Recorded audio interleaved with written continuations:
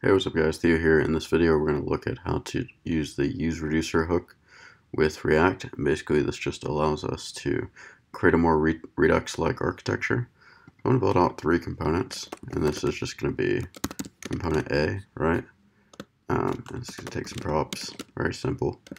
And div A, div, let me just copy this real quick. B, right?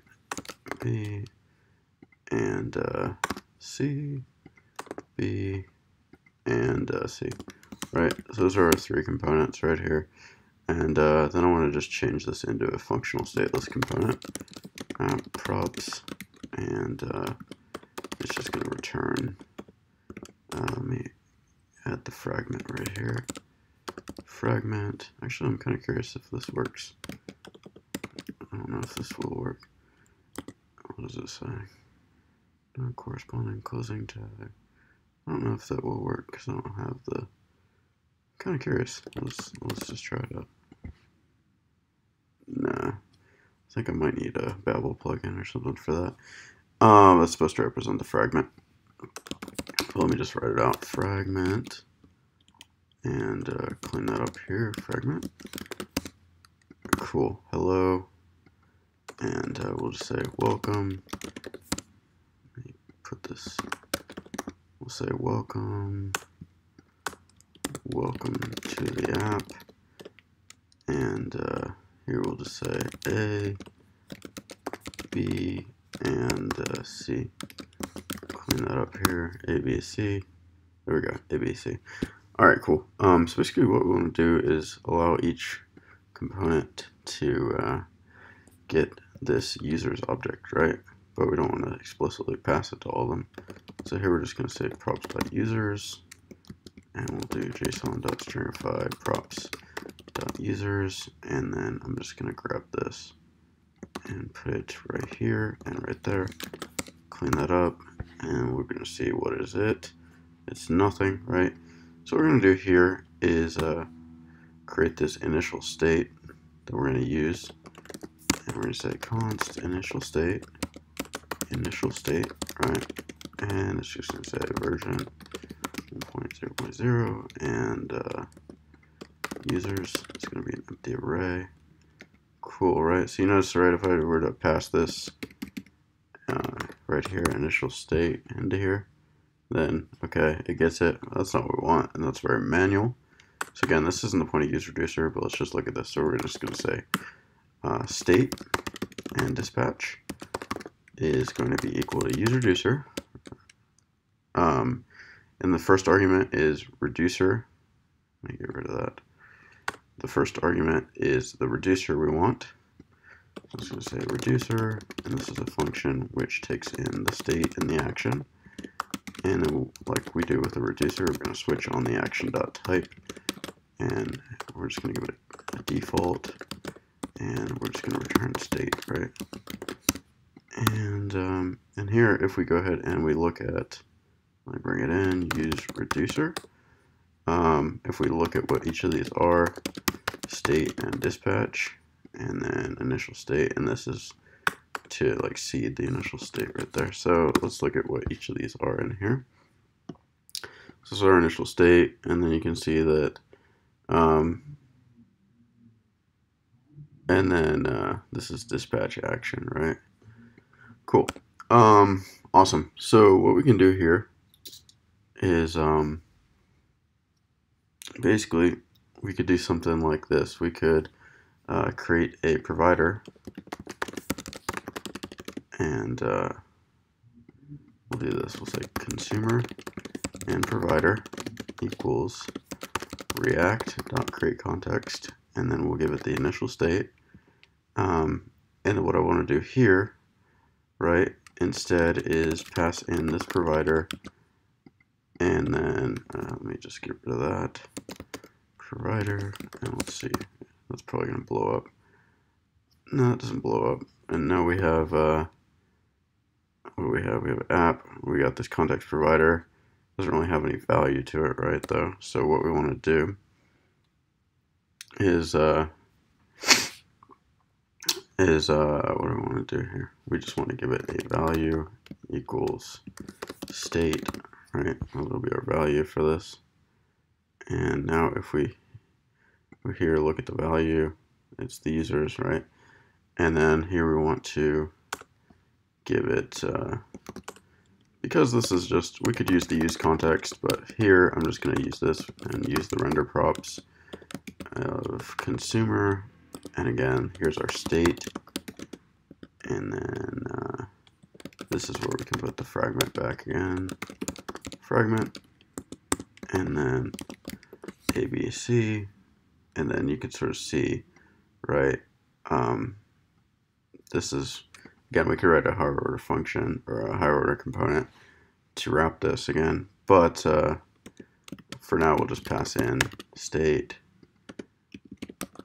state, right? And this might be like the store instead, right? Whatever you want. Uh, state and uh, state. So now, what do we get?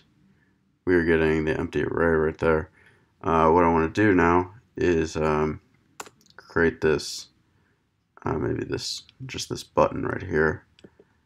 And uh, it says, click me to see users. And let's just look at this in action. Click me to seed users. You can sort of see what's happening. Nothing's happening there. So what we can do here is give it a handler. And uh, basically what I want to do is um, give it this method here called seed users.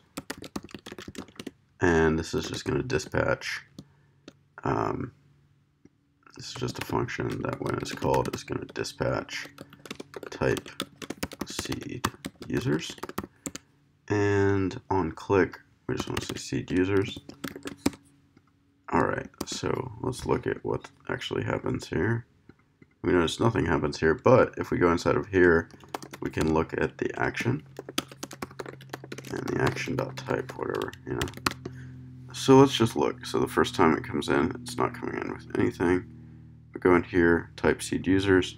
Cool. Um, so what we want to do is switch on this, right? Case seed users. All right, and let's just make it blow up. Let's return null. Let's see what happens. Okay. Nothing really happens. It just nothing returns, right? So that's kind of an anti-pattern. What we want to do, uh, we're going to spread out the state. And what then we want to do is we want to say users and then we'll just say, right, um,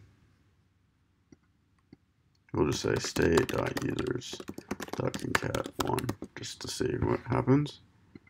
There we go. Awesome. State.users.concat. And then after that, uh, we want to disable this button, right? We'll just say disabled uh, state.users.length. Okay, so we can seed one time and then it's disabled. Awesome.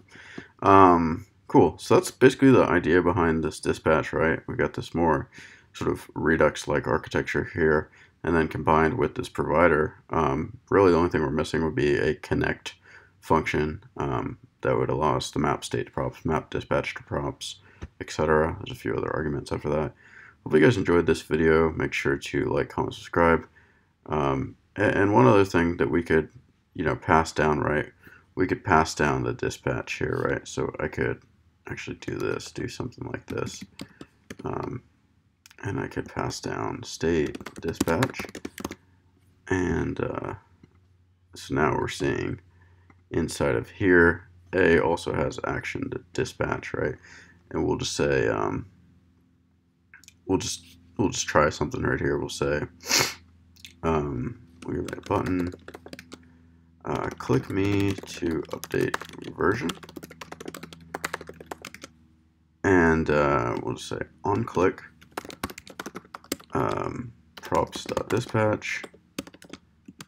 Uh, and again, let me clean that up a little bit. Props.dispatch. Um, it's going to be a type update version. And we sort of see what's going to happen here.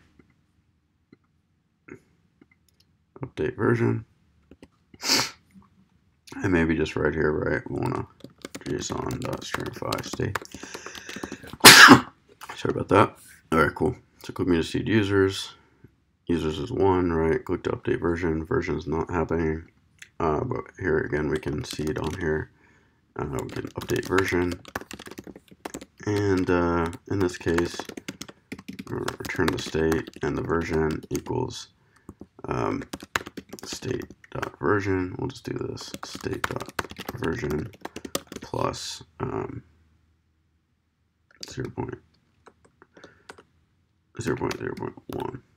Or let me just do this. I'll just wrap it in that. Okay, so let's make sure this works. And uh, that's not actually gonna work. Let's let me see the best way to handle this. And let me see version and let me see. Um, one plus one point zero point zero point zero point one, and actually let me do this. One actually eval. I'm trying to think of the best way to. Actually, if I just do um,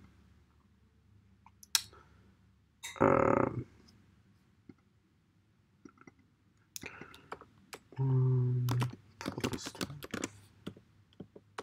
uh, so to do 2.0 2.0.0 yeah I guess you can't. Um I don't know I might need I don't know. I'll just do it with uh, version equals state version.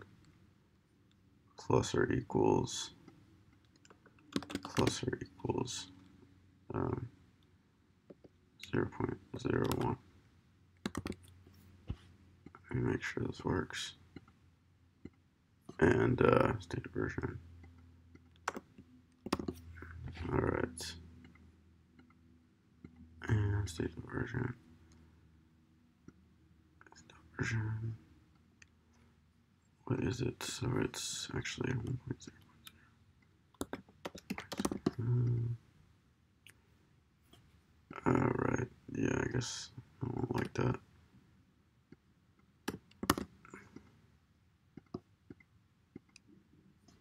We'll just add one to it, right? It doesn't matter. State version plus one. And state version plus one. There we go. There we go. And uh, so we're able to see that everything is dispatching correctly, right? Version 7, everything is being updated. I have everything in here. Uh, so if you guys enjoyed that, uh, again, you could get this to work probably with a parse int or using some other decimal. I know it's probably something super simple. I don't usually try and update it like that. Uh, but yeah, hopefully you guys enjoyed the video. Make sure to like, comment, subscribe. As always, take care and see you guys in the next video.